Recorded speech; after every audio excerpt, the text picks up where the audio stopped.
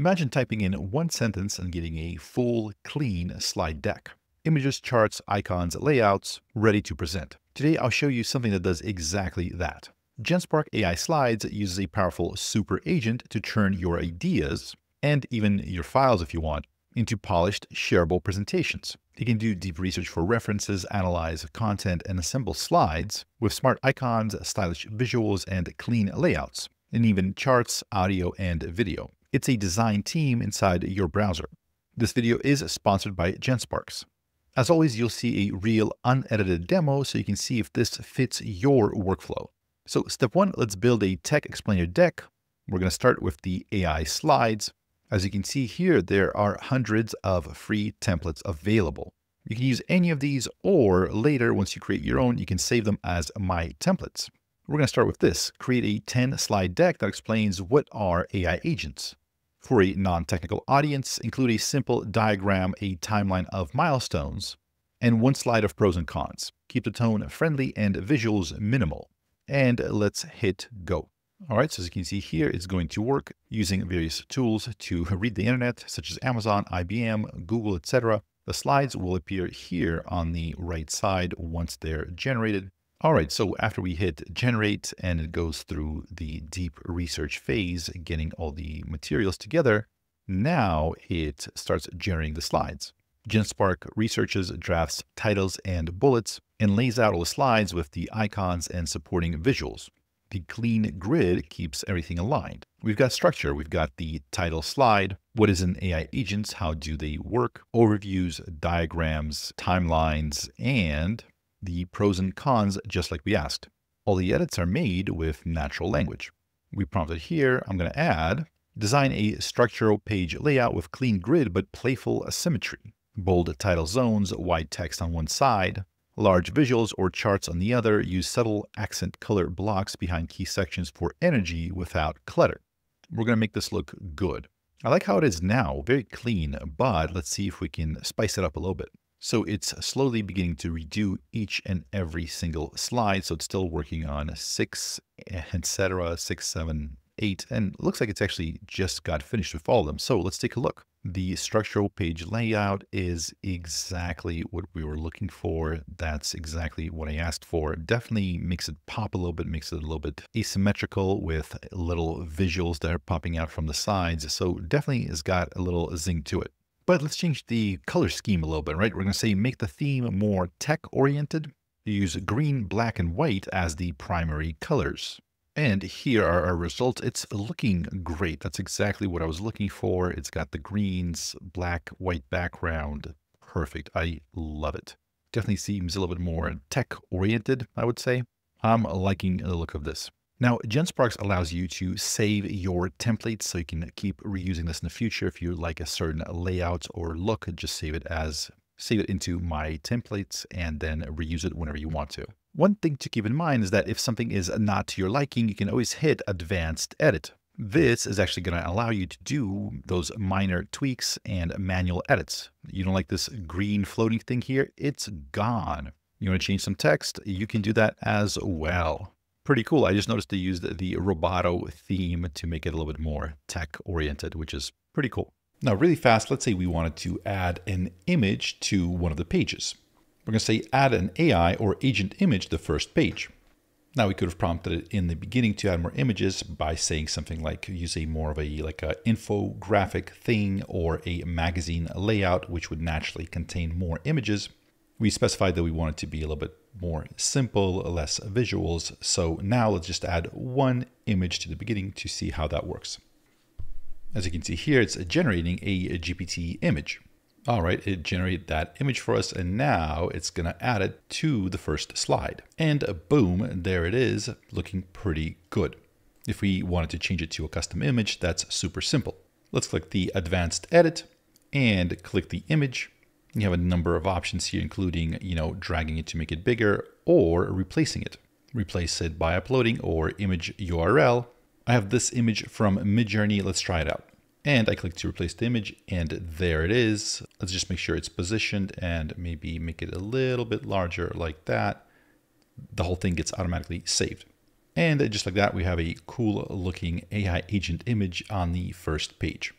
Easy. Next, we're going to do a file to deck flow. I'm going to upload a PDF document and an Excel spreadsheet. These contain quarterly numbers for a fictional business. And for the prompt, we'll say build a 12 slide client proposal summarizing the PDF. Use the Excel for a trend chart. Keep it boardroom ready. Showcase important insights about the business in easy to understand visuals. So GenSparks went deep into the documents, went through the two documents that we uploaded that, that had quite a bit of information in there about a fictional business called Mos Eisley Cantina. If that doesn't ring a bell, it's a bar on the planet of Tatooine containing some of the most villainous scum in the galaxy. So I created a fictional quarterly sales, etc. So as you can see here, Gensparks managed to put it together into a very nice looking presentation. It pulls headlines, the key points from everything that I've uploaded. It creates images and auto generates a very clean agenda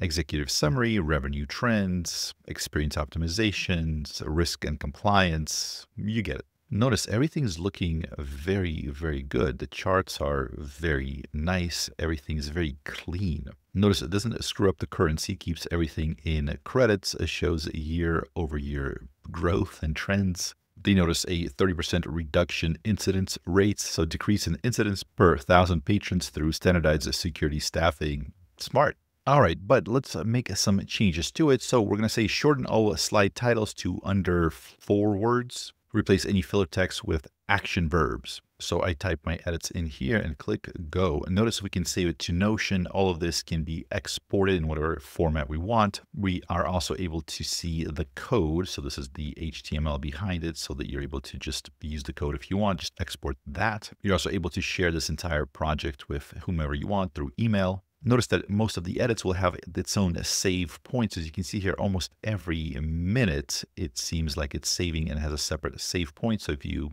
want to go back, if something screwed up, you can go back with a lot of precision. So trim the fluff. It reduced the headlines to under four words. So it looks like most of them are now two, you know, performance overview, revenue growth, and it replaced any filler text with action verb, like achieved consistent growth and projecting this, delivered that. So perfect, looking very corporate friendly now. Now it's still finishing up the last few slides, but the next edit we're going to make is this. We're going to say add a case study slide with a three item stat strip. So it creates a brand new slide. It shows it's thinking for a while about what needs to be get done. Everything seems very smart, very reasonable and then starts cranking out the code to create the slide. Here's the preview. If you're wondering what a three item stat strip is, here's what that's looking like. So this is a success case study, Bith Band Night Initiative. And uh, basically, as you can see here, everything worked out. Great ROI. The three stats statistics are highlighted here across the top. This is perfect. Theme changes are super simple. We're going to say, let's switch to dark theme. So if you don't recall the cantina from the movie, it was a dark place, but it had these earthy, sandy colors. So we're going to try to kind of capture that within our presentation. We're going to say switch to dark theme with some earthy, sandy colors. And we're going to say use a sentence case for titles, right? So usually titles uh, are capitalized, all letters are capitalized. A sentence case is the regular sort of, you know, first letter capitalized, the rest non-capitalized. So we're making two big changes, including a pretty big thematic change. So let's see how well it handles that. Keep in mind, this is unedited other than like if I mess up, if I say something wrong, then maybe I'll say that I'll edit that part out. But um, these are not cherry picked. These are kind of a almost live presentation. I'm doing this as we're going live. As far as I can tell, so far is is everything's perfect and everything is grounded to the documents that I've, I've that I've uploaded and everything is accurate. Everything responds as you would expect it to respond. And so far it's looking good. Hey, that's looking pretty good, I gotta say. Now, one thing to notice here is that you, can go granular, right? So you can tweak the font, the size, the color, the alignment. You can do it manually or with the AI. But the really good thing is you don't have to. What's interesting is I think it noticed the fact that, ah, yes, the slides now have a sophisticated desert cantina aesthetic that perfectly matches the Mos Eisley theme. So it caught on to the fact of, of, of what we're doing, which is which is nice because I never explained what the cantina is. So it picked it up in context. And as you can see here, as, as it's building it out, the theme, I, I got to say, this is kind of exactly what we wanted. Uh, the contrasting colors, everything's very good. It's certainly a dark theme. I love it. Some of these charts are looking a little bit low contrast. So we're going to say for charts and graphs, let's use very high contrast colors and add some 3D elements. All right, let's see what it's coming up with. Boom. Wow. Okay. That's very cool. It's got a little bit of a skewed element to it. Definitely very high contrast. That's really popping out. Here's the other one. Yeah, as you can see, it definitely has a little bit of a 3D element to it. All these things are popping up. Notice when I hover over these points, there's some more details that pop up. There's some transparency. I mean, it's looking really, really good. We got these charts and graphs. Yeah, these are looking great. Very high contrast colors. And you can see all of the segments separated. So we can hover over each segment individually. When you're done with your slide deck, you can record your walkthrough or export it. You can export it as a PDF or as a PowerPoint presentation. If you share the PowerPoint presentation, others can continue to create their own PowerPoint based on your conversation. But the point is you can focus on the story. GenSpark handles all the visuals. So here's who this is for. For tech creators, you can ship explainer decks to pair with your videos. For educators, you can turn lesson plans or PDF into clean slides fast. For startup teams, you can do proposals, roadmaps, or investor updates in minutes. And for analysts and marketers, just paste your findings and data to create a clean, polished, client-ready deck. So if your bottleneck is creating the slides and not telling the story, GenSpark's AI Slides is a game changer. Try using my link in the first line of the description Big thanks to GenSparks for sponsoring this video. If you want to see a follow-up where I build your slide deck live, drop your topic down below in the comments. I'm Wes Roth. Subscribe for more practical AI tools like this one, and I'll see you in the next video.